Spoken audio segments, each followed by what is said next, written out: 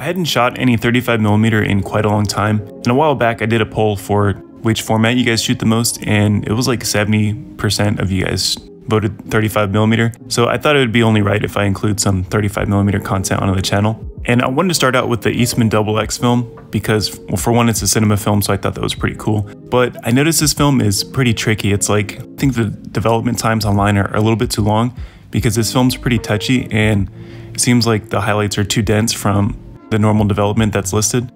So I definitely think upon shooting it again, I'd curve that time back a little bit.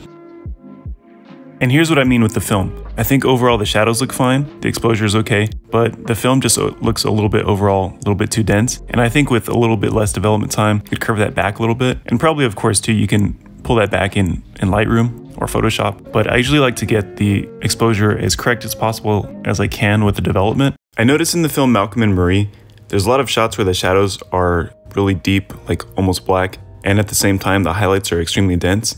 So I think naturally this film is super contrasty, so that's what makes it a little bit tricky to work with because you don't have a lot of room to play with. If your shadows are exposed too high, you're gonna get super dense highlights. Another couple things I wanted to check out with this film too was for one the sharpness. I wanted to see how well you can like read text and stuff through the image and surprisingly it's really sharp and it's also really grainy but not in like an unpleasant way. I developed this in Xtol 1 to 1 so of course it's going to be a finer grain but the grain is super dense and it's very visible but I don't know I kind of like the the dense grain on this film. Double X is definitely not a film you can just pick up and shoot like it's any other film.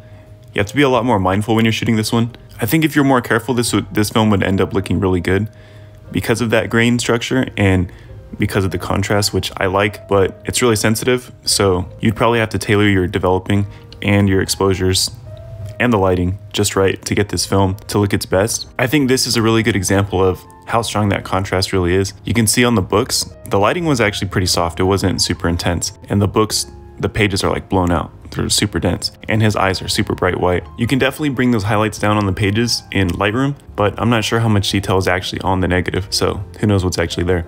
Here's a shot from Malcolm and Marie where I think Double X is looking its best. This scene has a full range of tones, and there's definitely a strong contrast present here, but it's not overly done and the highlights still have plenty of detail. If you drop in a zone chart, you can take a look around and get a feel for all the tones that are represented in this image, and there's actually quite a bit of detail and tonal range here. I think this film kind of gets a bad rep because people shoot it and they're like, what the heck? It's not very fast, but it's super grainy, and some of my shots look good, and other ones are kind of blown out, kind of just looks all over the place, and people just kind of dismiss it immediately. If you're gonna shoot this film, you gotta shoot a few rolls and see how it exposes and see how it reacts with your developer of choice, because you're definitely gonna have to tailor your developing around this film. My final thoughts on this film I like it a lot. I think it's got a really great look. I like that really dense grain and I do love the contrast. But if you're gonna shoot this, shoot a roll first and find that sweet spot for your developing and then you can go into a shoot with it. Have you guys shot double X before and what do you think of it? Let me know in the comments and we'll see you guys next time on